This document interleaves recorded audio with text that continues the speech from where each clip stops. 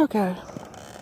Now, um, I'm gonna lay it out for you as to what really happened with um, 9/11 and after 9/11.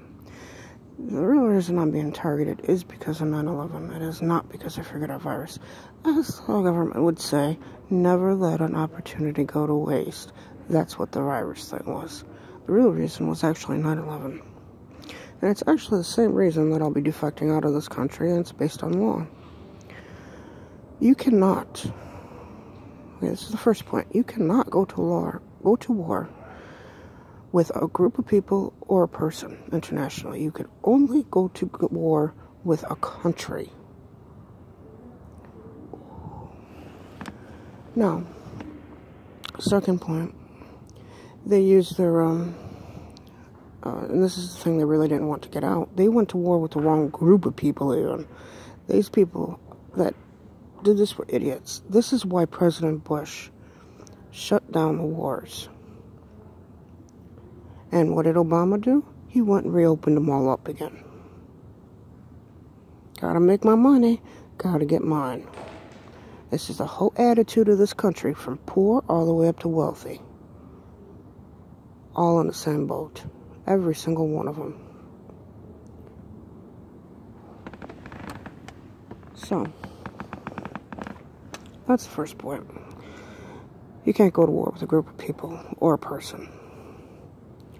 Now, Obama went and put, um, he did a presidential uh, directive. Didn't even go through Congress because it's as illegal as you can get. That you can attack people and kill people even Americans. That's called genocide.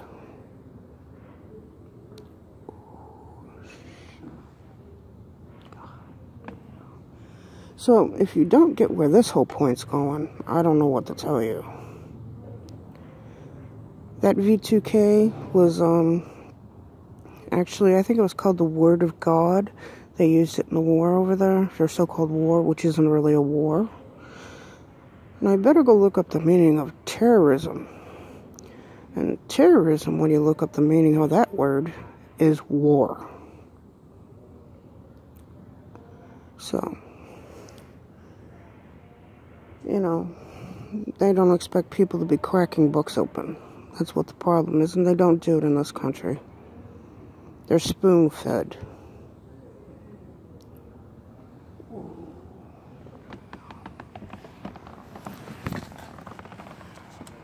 So, they violated international law all over the place. They've um, destroyed countries, killed leaders, and um, committed genocide. Now, that's in violation, and they tortured people. And this is the group of the TIs in this country. TIs in other countries and TIs in this country are completely different groups of people. And if you don't believe me, start talking to those people in other countries.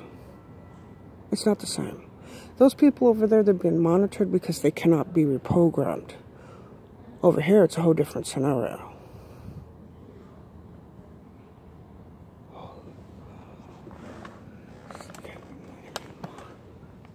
They're not being tortured in other countries. That's not what's happening though. They're being monitored by the government. And they don't have these um, crazy ass people. Now, if they do have them, that's illegal, and it's not through their government.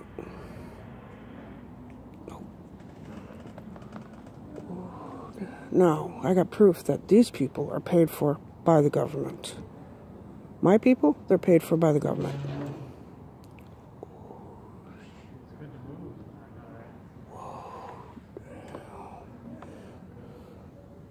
So, TIs in this country, you definitely have a lawsuit.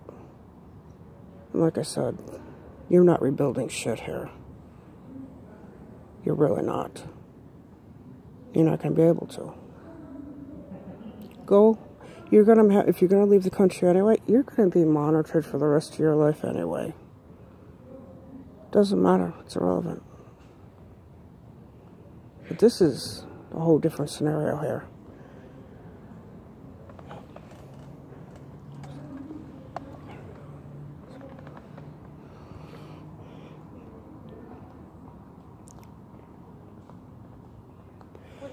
So,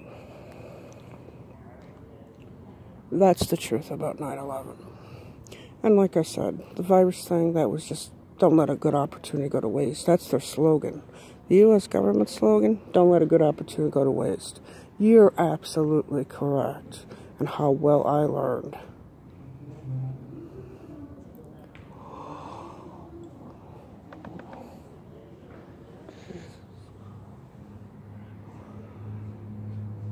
So, you know, um, as far as TIs go, you have a big decision you're going to have to make. There's quite a few of them coming up. Like I said, there's a major lawsuit going on in this country. Um, see, they used people here for illegal uh, experimentation. This is this whole torture program.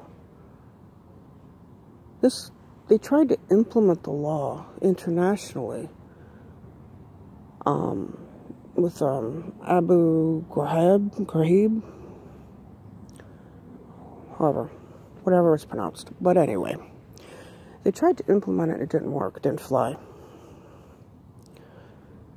So they went and they implemented it here.